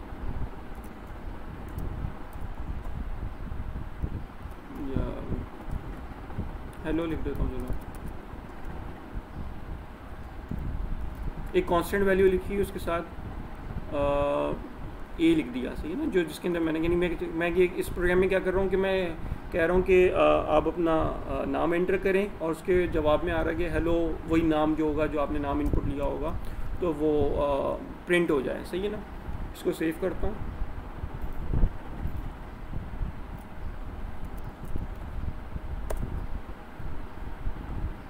कंपाइल करके देख लूँ, कोई एरर कोई वार्निंग नहीं है, सही है प्रोग्राम सही है। और जब मैं इसको रन करा रहा हूँ, ये पूछ रहा है एंटर योर नेम सही ना लाइट्स लेट सपोज़ कि my name is Wasim so I am going to write my name is Wasim सो अब देखें आउटपुट के अंदर देखें। आउटपुट में उसने क्या किया कि किया हेलो डब्ल्यू सही है ना? यानी मेरा पूरा नाम जो है, उसने प्रिंट नहीं किया, सिर्फ़ डब्ल्यू को प्रिंट किया। क्यों? क्योंकि मैंने आपको शुरू में बता चुका हूँ कि करेक्टर जो है करेक्टर से जो आप वेरिएबल में जो वैल्यू आप इनपुट लेते हो तो वो सिर्फ़ एक सिंगल करेक्टर को अपने पास होल्ड करता है। Rest of the A S I M के वेरिएबल्स को या अल्फ़ाबेट्स को उसने आ, अपने पास होल्ड नहीं किया। सही ना? उसको डिस्कार्ड कर दिया क्योंकि उसके पास जो कैपेसिटी है स्टोर करने की अपने पास, वो सिर्फ़ एक करेक्टर की है, सही ना? तो जो भी आप फ़र्स्ट करेक्टर देंगे, उसको अपने पास होल्ड कर लेगा, बाकी सबको निगलेक्ट कर देगा, ठीक है? तो इस वजह से हमें जो करेक्टर एरे की ज़रूरत पड़ती है, ताकि अगर मुझे अपना कंप्लीट नाम इनपुट लेना है, सही ना? तो यहाँ पे चले, मैं उसको भी करके दिखा देता हूँ कि अगर आपने कंप्लीट नाम, मेरा फॉर एग्ज़ाम्पल कि फाइव अल्फ़ाबेट्स में आ जाता है तो फॉर द सेफ़ साइड में से मैं सिक्स ले लेता हूँ कि मैंने सिक्स का एरे ये now this is it's become a character array सही ना? करेक्टर एरे मैंने ले लिया। uh, इसको मैं अब कंपाइल एंड रन एक साथ ही कर देता हूँ। और फिर अब मैं W A S I M लिखता हूँ। तो इसने इस टाइम अब मेरा जो कंप्लीट नेम है वो उसने मुझे शो कर दिया से हेलो वसीम करके ठीक है? तो आ, इस तरह से अपना जो नाम है, मैं डिस्प्ले करवा सकता हूँ। इसमें एक और बात नोट करें, जो मोस्ट इंपॉर्टेंट बात ये है कि जब मैंने इसको करेक्टर के अंदर कन्वर्ट कर दिया, सही ना? तो मैंने आपको बताया था इंटीजर एरे में जब भी आईएनटी हो और इस तरह से लिखा हुआ हो तो आप जब इनपुट लेंगे तो इनपुट लेने से पहले आपको लूप की ज़रूरत पड़ती है, ठीक है? लेकिन जो करेक्टर एरे है, उसके अंदर हमें लूप की ज़रूरत नहीं पड़ेगी। अगर आप एक सिंगल नाम इस तरह से इनपुट ले रहे हैं तो आपको लूप की ज़रूरत नहीं पड़ेगी। खुद ब खुद ये जो ए है, ये कैलकुलेट कर लेगा। और एक और बात नोट करें कि इसके आगे मैंने कोई राउंड ब्रैकेट्स नहीं लगाए इनपुट लेते हुए, जबकि इंटीजर के अंदर मैं यहाँ पे आई ले रहा था और लूप के थ्रू ले रहा था। अब चूँकि मैं वहाँ पे लूप के थ्रू इनपुट ले रहा था तो मुझे वो वेरिएबल लिखना ज़रूरी था ताकि मुझे लोकेशन बतानी है। लेकिन जब हम करेक्टर एरे में बात करते हैं तो करेक्टर एरे जब आप अपने ऊपर डिक्लेयर कर दिया तो इनपुट लेते वक्त आपको बताने की ज़रूरत नहीं पड़ेगी। वो खुद ब खुद डब्ल्यू को एक ज़ीरो लोकेशन पे ए को वन लोकेशन पे और एम को फोर लोकेशन पे वो खुद ब खुद सेव करता चला जाएगा। ठीक है? और इसी तरह जब मैं उस चीज़ को प्रिंट करा रहा हूँ तो मुझे सिर्फ़ यहाँ पे जो ए लिखा हुआ है एज इट इज़ मैं ए लिखूँगा। इसके आगे मैं स्क्वायर ब्रैकेट नहीं लगाऊँगा। अगर मैं स्क्वायर ब्रैकेट लगाऊँगा ना तो तो भी इसमें इसी में आपको एग्जांपल में परफॉर्म करके दिखा देता हूँ सही ना? तो इसमें आ, मुझे ज़रूरत नहीं पड़ेगी लूप की कि मैं लूप के थ्रू उसको आउटपुट कराऊँ सही ना? तो इस तरह से इंटीजर एरे और करेक्टर एरे में ये मेजर डिफरेंस है सही ना? अच्छा लेट सपोज़ के आउटपुट के अंदर मैं क्या करता हूँ कि मैं यहाँ पे आई तो लिख नहीं सकता क्योंकि आई जो है वो आ, क्या कहते हैं लूप तो मैं ले नहीं रहा। अगर मैं डायरेक्ट यहाँ पे लेट सपोज़ के मैं फ़ोर लिख देता हूँ। सही ना? मैंने लिख दिया फ़ोर कि नहीं, मेरा नाम फाइव करेक्टर्स के ऊपर है ना? लेट सपोज़ चले मैंने फाइव लिख दिया कि मेरा नाम फाइव करेक्टर्स पर है तो ए ऑफ़ फाइव करके ये चीज़ मुझे शो करे। सही ना? तो जब मैं इसको रन एंड कंपाइल करता हूँ और मैं अपना नाम यहाँ पे इनपुट देता हूँ तो उसने मुझे यहाँ पे हेलो लिखा और आगे कुछ भी प्रिंट नहीं किया। सही है? कुछ भी प्रिंट नहीं किया। इसकी वजह ये है कि मैं, मैंने क्या किया कि मैंने फिफ्थ लोकेशन को मैंने प्रिंट करवाया है। सही है ना? फिफ्थ लोकेशन को प्रिंट करवाया फिफ्थ लोकेशन से मुराद के ये जो W है, ये मेरा ज़ीरो लोकेशन पर है। ये मेरा जो M है, वो फोर्थ लोकेशन पर है।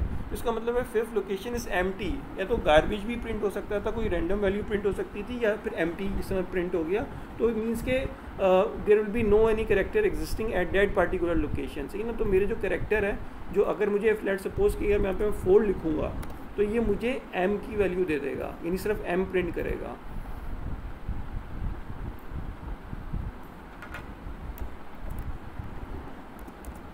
ये देखें। अब इसने क्या लिखा? हेलो एम ये वाला एम क्यों? क्योंकि ये मैंने फोर लिखा है। फोर का मतलब ये है कि ये डब्ल्यू जो है ज़ीरो और ये ए जो है वन ये एस टू ये थ्री और एम फोर तो ये फोर लोकेशन पे जो मेरे पास वैल्यू है वो प्रिंट करके दे देगा। तो अगर आपने यहाँ पे स्क्वायर ब्रैकेट लगा दिए, सही है ना? अगर आपने यहाँ पे इनपुट के टाइम पे भी स्क्वायर ब्रैकेट लगा दिया और इस तरह से लिख दिया तो क्या करेगा? सिर्फ़ फोर्थ लोकेशन पे वैल्यू आपसे इनपुट लेगा। और अगर आपने इस तरह से आउटपुट में लिख दिया तो ये फोर्थ लोकेशन की वैल्यू जो है, वो सिर्फ़ प्रिंट करेगा।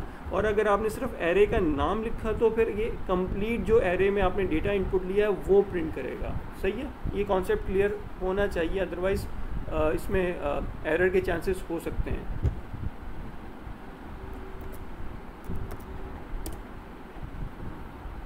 और हमेशा ये याद रखिएगा, अगर मैंने इसका साइज़ सिक्स डिक्लेयर किया तो सिक्स से कम करेक्टर मुझे देने हैं, अगर सिक्स करेक्टर से ज़्यादा का कोई मैं डेटा दूँगा तो उसको एक्सेप्ट नहीं करेगा, सही ना? और अगर एक्सेप्ट करेगा भी तो विद गार्बेज वैल्यूज़ एक्सेप्ट करेगा। Now come to back towards the lecture slide जी।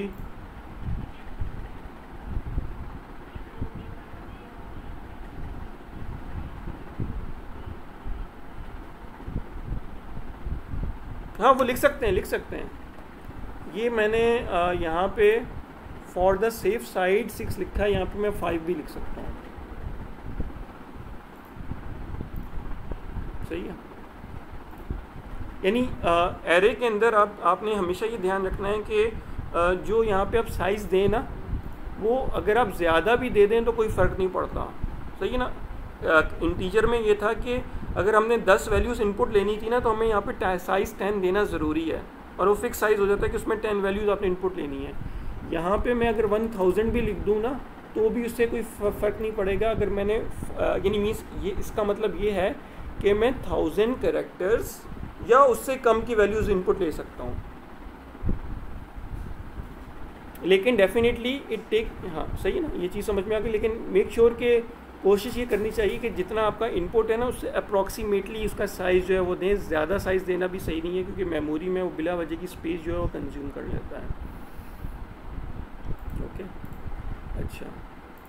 फिर यहाँ पे थोड़ा सा अब आपको इसका कॉन्सेप्ट देना है करेक्टर एरे का। कि करेक्टर एरे में जो एक लूप का इस्तेमाल नहीं है ना तो वो कुछ इस वजह से नहीं है कि जिस तरह आपने इसने करेक्टर स्ट्रिंग के नाम से hundred of size of hundred आपने क्रिएट किया तो इसमें ये बता रहा है कि a string is a sequence of character terminated by the null character null character से मुराद ये कि जब आप कोई भी नाम इनपुट देते हैं ना तो इन दी एंड वो एक नल करेक्टर का साइन होता है back slash zero back slash zero जो है, वो ये बताता है कि आपने जो इनपुट है, वो आपका कंप्लीट हो गया है। सही है?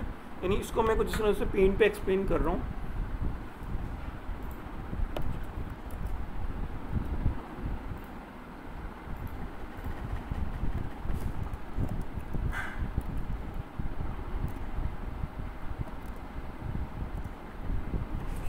इंटीजर नहीं करेक्टर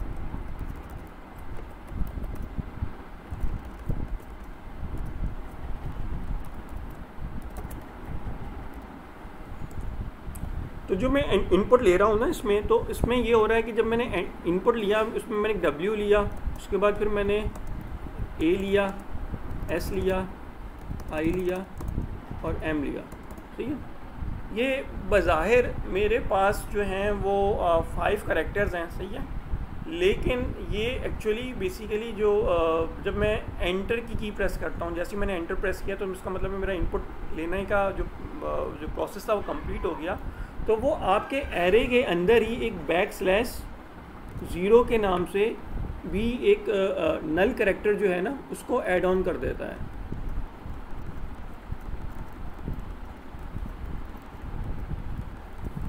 और करेक्टर हमेशा एक सिंगल कोर्स के अंदर सेव हो रहे होते हैं।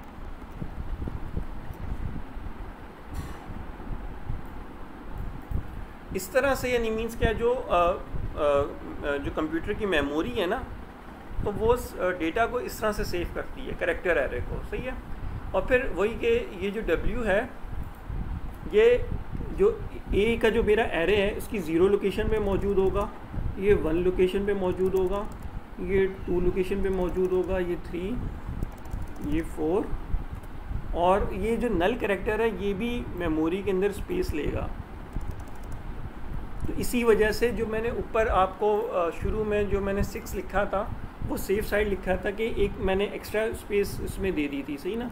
तो करेक्टर वेरिएबल जब भी आप डिक्लेयर कराएँ, यानी लेट सपोज़ कि अगर मैं बी लेता हूँ तो अगर डिक्लेयर कराएँ तो एटलीस्ट के जो भी आपने इनपुट लेना है, उससे एक स्पेस ज़्यादा करके डिक्लेयर करवाएँ, सही ना? क्योंकि अगर आप उसको काउंट करें कि one two three four five six तो इस वजह से यहाँ पे सिक्स की स्पेस होनी चाहिए ताकि ये मेरा जो कंप्लीट नेम है, वो मेमोरी के अंदर सेव हो सके, सही ना? तो ये जो लास्ट करेक्टर है, ये that's call the null character और ये नल करेक्टर आपको ये बताता है कि आपने जो अल्फ़ाबेट्स जो आपने यूज़र से इनपुट लिए हैं, वो इस पॉइंट पे आके कंप्लीट हो गए हैं। इसीलिए जब वो आपका, यानी जो आपको आउटपुट डिस्प्ले करवा रहा था प्रोग्राम के अंदर, इस पर्टिकुलर पॉइंट पे सा ए लिखा है तो ये उस वक्त तक रीड करता चला जाएगा जब तक कि इसको ये नल करेक्टर नहीं मिल जाता। सही है? और ये नल करेक्टर कब ऐड होता है? जब आप सी में जब नाम इनपुट ले रहे हैं तो जैसे आपने एंटर की की कंप्यूटर से प्रेस की तो उसको ऑटोमेटिकली ऐड कर देता है इनटू योर एरे सही है? अच्छा अगर आपने इस तरह से कोई मोर देन वन वर्ड एक साथ इनपुट ले रहे हैं तो वो खुद ब खुद ऐड कर देता है। लेकिन अगर आपने डिफ़ॉल्ट वैल्यूज़ दी हैं तो उसमें आपको इस तरह से बैक स्लैश ज़ीरो खुद से ऐड करना पड़ता है। विच मीन्स के यहाँ पे अगर आप देखें, अगर यहाँ पे एग्जांपल ये दीजिए कि जो हेलो का जो वर्ड है is a character of in is an array of six characters not five सही है? यानी मीन्स के इस हेलो का वर्ड अगर आपने यूज़र से इनपुट लेना है तो आपको मिनिमम सिक्स करेक्टर की रेंज डिक्लेयर करना ज़रूरी है। सही है? अच्छा। फिर इसमें जो इनपुट लेने के तरीके हैं, वो कुछ इस तरह से है डिफ़ॉल्ट इनपुट की बात कर रहा हूँ। सही ना? डिफ़ॉल्ट इनपुट पे आके मैं मेरे ख्याल में आज का टाइम अभी है, कुछ मिनट हैं, सही है। तो ये डिफ़ॉल्ट इनपुट लेने का तरीका बता देता हूँ, उसके बाद फिर यहाँ पे मैं स्टॉप कर दूँगा। कोई क्यूरी होगी तो फिर उसको फिर डिस्कस कर लेंगे। सही है? अगर आपने डिफ़ॉल्ट वैल्यूज़ देनी है अपने स्प्रिंग के अंदर, सही है ना? तो वो कुछ इस तरह से आप दे देंगे कि पेंट पे करके बताता हूँ।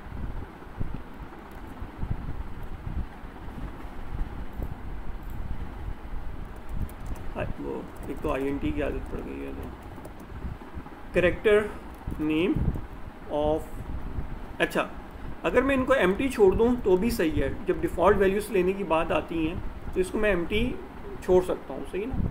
और ये again I am talking about one D character array ये वन डी करेक्टर एरे है। इसमें टू डी भी क्रिएट होगा वो फिर हम बाद में देखेंगे।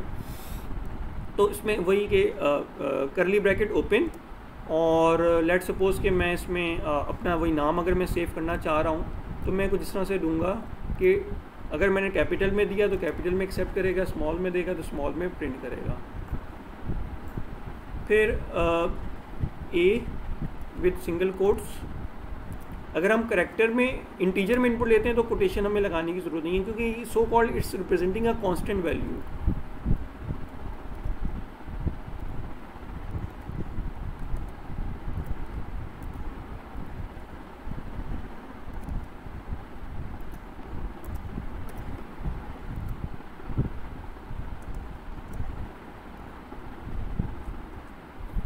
okay, this is the way of giving the constant input यानी मीन्स के नेम के नाम से अगर मैंने करेक्टर एरे क्रिएट किया तो वो मैं इस तरह से नाम इनपुट दूँगा कि आखिर में मैं बैक स्लैश ज़ीरो ज़रूर लगाऊँगा ताकि ये पता चल जाए कि यहाँ पे मेरा स्ट्रिंग जो है कंप्लीट हो गया। हमेशा नल करेक्टर आखिर में ऐड होगा, जितने भी इसमें इनपुट देना चाहें दे दें।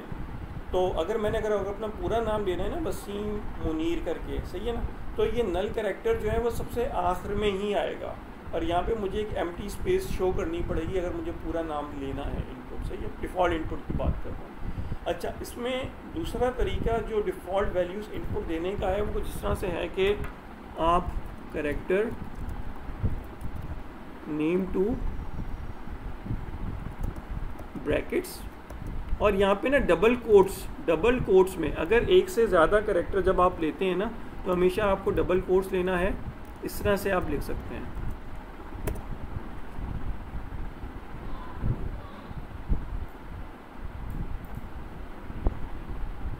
अब यहाँ पे देखें कि यहाँ पे मैंने जो नाम इनपुट लिया तो उसमें W A S I M एक साथ है डबल कोट्स हैं सेमी कॉलन है, और यहाँ पे करली ब्रैकेट्स नहीं हैं। सही है? दोनों तरीके करेक्ट हैं।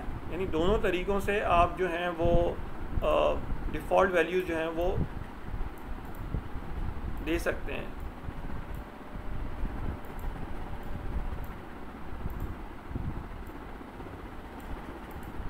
जब आप character by character values input लेंगे तो उसमें नल करेक्टर ऐड करना ज़रूरी है करली ब्रैकेट्स लगाने ज़रूरी हैं। लेकिन अगर आप एक पूरा वर्ड लिखते हैं तो उसमें सिर्फ़ डबल कोट्स लगाएँगे सेमी कॉलर लगाएँगे, इसमें करली ब्रैकेट्स लगाने की ज़रूरत नहीं है, सही है? और अगर आप सी आउट में सी आउट लिखेंगे नेम तो भी वो वसीम प्रिंट कर देगा नेम टू लिखेंगे तो भी वसीम प्रिंट कर देगा। इस तरह से यानी मीन्स के इसमें इनपुट लेने का तरीका जो कि उससे डिफरेंट है। सही है? इंटीजर एरे से। अच्छा इसमें वही कि अगर आप ये चाहते हैं कि इसकी लेंथ फिक्स करना चाहते हैं सही ना? पेंट में वापस जाता हूँ। तो यहाँ पे अगर आप चाहते हैं कि यार इसकी लेंथ को मैं फ़िक्स कर दूँ तो आ, आप यहाँ पे डायरेक्ट सिक्स लिख देंगे।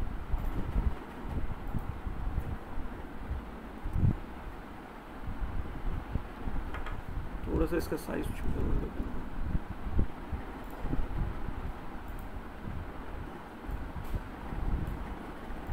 इस तरह से।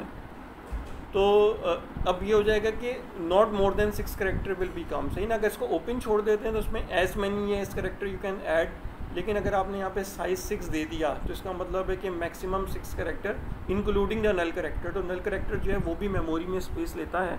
इस वजह से आपको जब साइज़ डिक्लेयर करेंगे इसके अंदर तो एक एक्स्ट्रा करेक्टर आपने ज़रूर देना है। सही ना?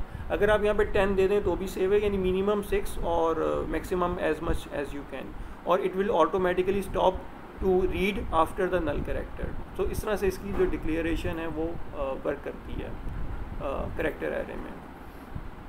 अच्छा फिर उसके बाद ये इसमें एक और जो चीज़ लिखी हुई है, वो कुछ ये कि अगर आप यहाँ पे साइज़ फाइव मेंशन कर दें, सही है ना? तो वो बेसिकली एक करेक्टर तो होंगे, लेकिन वो एरे की सीक्वेंस नहीं होगी, क्योंकि आपने उसके लिए नल करेक्टर के लिए आखिर में स्पेस नहीं छोड़ी है, सही ना? तो उसके अंदर ये ये बड़ी बात इंपॉर्टेंट है कि this is not a string but an array of character with size five सही ना? यहाँ पे ये जो चीज़ रिप्रेजेंट करेगी। सही है कि अगर आपने यहाँ पे फाइव को शो कर दिया प्रोग्राम के अंदर, ठीक है? In string to a null character is automatically added to the end of the sequence to make it size six सही ना? ये जो सेकंड स्ट्रिंग की बात कर रहा है कि जब हम एंटर की प्रेस करते हैं तो नल करेक्टर को वो खुद ब खुद ऐड कर देता है, इस तरह से। अगर आपने इस तरह से डिक्लेयर किया, इसके आगे नल करेक्टर को ऐड नहीं किया, सही है? तो ये एक करेक्टर तो है लेकिन एक स्ट्रिंग नहीं है सही ना? क्योंकि इसके अंदर आपने इसको कंप्लीट नहीं किया है सही ना? आ, तो इस वजह से इसको आ, एक स्ट्रिंग की कैटेगरी की हैसियत हासिल नहीं है। एक कंप्लीट प्रोग्राम है इसका आ, इस इस लेक्चर साइट को भी अभी मैं अपलोड कर देता हूँ इसकी आप प्रैक्टिस ज़रूर कर लीजिएगा ठीक है? यहाँ पे मैं स्टॉप कर देता हूँ फ़िलहाल, लेकिन कोशिश करें कि इसकी ना खुद से प्रैक्टिस कर लें। इस पर्टिकुलर प्रोग्राम में आप देखें, मैं थोड़ा सा माइनर सा रिव्यू करा रहा हूँ कि ये ये प्रोग्राम क्या कर रहा है कि जो आपके इनपुट्स हैं, सही है ना? यानी मींस के आपके अल्फ़ाबेट हैं, सही ना? तो उसको एक सीक्वेंस में कैपिटल ए से स्मॉल ए और स्मॉल स्मॉल यानी small alphabets and capital alphabets की ना सीक्वेंस जो है वो प्रिंट करा रहा है। तो हमारे पास टोटल जो अल्फ़ाबेट्स होते हैं वो ट्वेंटी सिक्स होते हैं, सही है ना?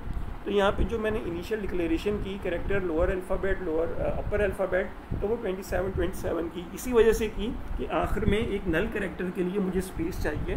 तो हमेशा अगर आपको कंफर्म हो कि आपके टोटल कितने करेक्टर्स आ रहे हैं तो उसमें से एक स्पेस ज़्यादा दे के उसको आपने डिक्लेयर करवाना है। ठीक है? फिर जब आप लूप चलाएँगे तो मेक श्योर sure कि लूप भी आपका ना करेक्टर टाइप ही होना चाहिए। यानी आई जो है वहाँ पे इंटीजर टाइप था जब भी कोई इस तरह की चीज़ होगी कि अगर आपने ए से बी पे जाना है तो आ, और बी से सी पे जाना है तो आपको लूप की ज़रूरत पड़ रही है तो लूप भी इसका ना करेक्टर टाइप ही होना चाहिए। तो करेक्टर टाइप आपने लूप दिया और ज़ीरो से लेके लेस देन ट्वेंटी सिक्स यानी मीन्स के वो चलेगा ट्वेंटी सिक्स टाइम यानी मेरा जो ए है वो आ, आ, क्या कहते हैं ज़ीरो लोकेशन पर है और मेरा जेड जो है वो ट्वेंटी फिफ्थ लोकेशन पर है। ठीक है ना? तो इस वजह से ज़ीरो से लेके less than twenty six time चलेगा। यहाँ पे मैं क्या कर रहा हूँ कि एक अपना लोअर अल्फ़ा का जो एरे है, सही है उसके अंदर आई की इनिशियल वैल्यू ज़ीरो है, सही ना? उसके अंदर मैं ए को ऐड करा रहा हूँ, सही ना?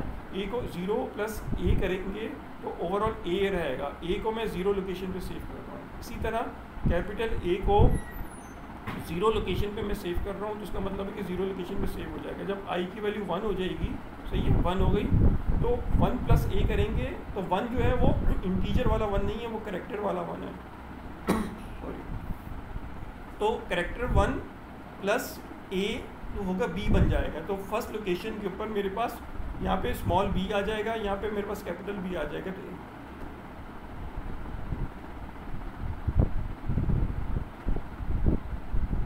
हम्म, अगर कुछ कहा है तो मुझे समझ में नहीं आया क्योंकि मुझे नॉइज़ आई है।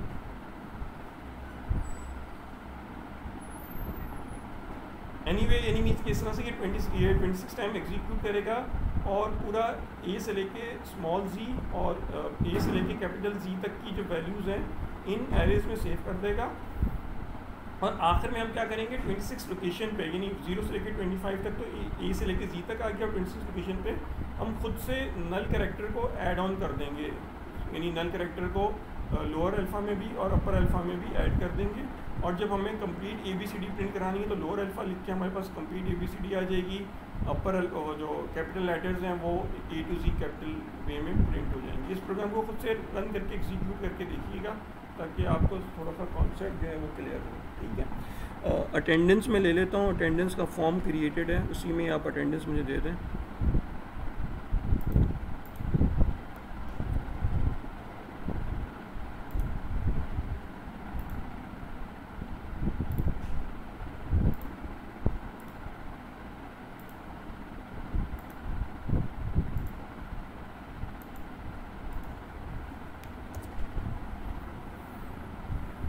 मार्क कर दें इस फॉर्म में अटेंडेंस ताकि मेरे पास रिकॉर्ड आ जाए।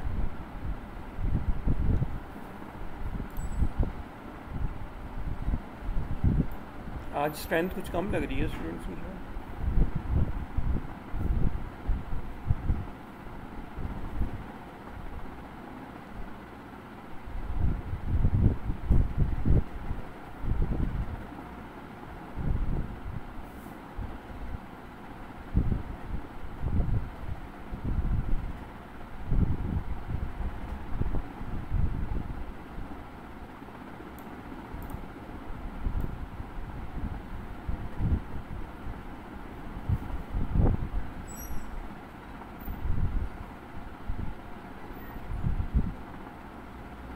लिंक शेयर नहीं हुआ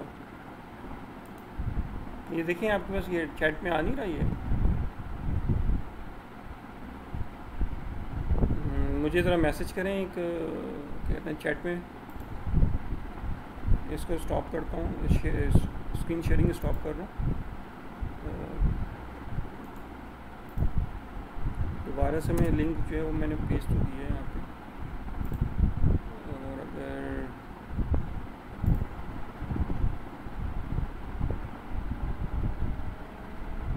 आपकी इस पर इसमें क्या कहते हैं, जो मेन चैट विंडो है, इसमें आप देखें आके। नहीं हो रहा। हाँ रिकनेक्ट कर रहे हैं ज़रा।